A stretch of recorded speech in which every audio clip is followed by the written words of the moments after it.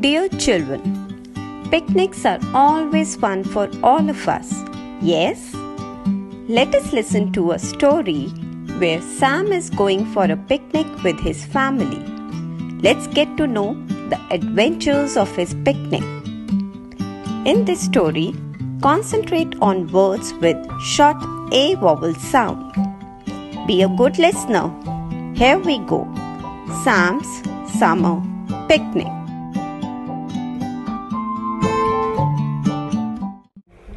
It is a beautiful Sunday morning. The sun is shining brightly in the sky. Sam and Pam tap on their dad. Let's go for a picnic, said Pam. Okay, kids, pack your bag.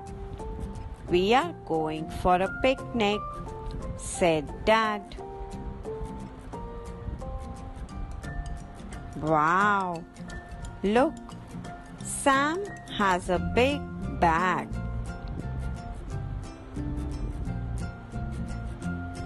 Sam has a mat. Sam puts the mat in the bag. Sam has a big map. Sam puts the map in the bag. Sam keeps his hat, bat, pad, cap, and a can of cold water in his bag. Sam has a little name tag. He puts the tag on his bag. Sam, do not lag, said Dad. Look, Sam ran with his bag. Sam and his family are going for a picnic in a van. Look, Sam. Look, Pam. Look there. It is a dam. Let's click a picture. Wow! It is a very hot day today.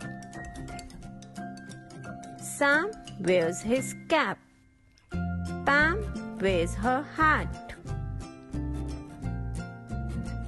Sam grabs his bat. Pam grabs her ball.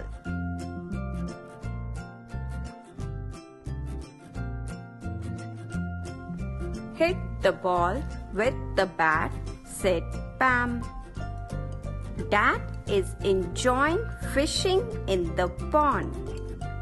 He wants to catch a fat fish. Sam and Pam spreads the mat.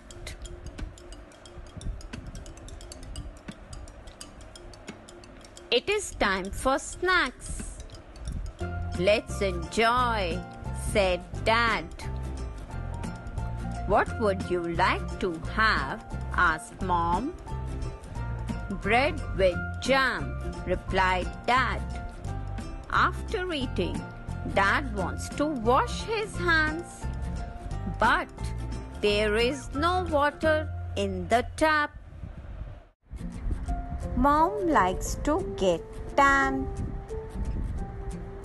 A man sits near the fan.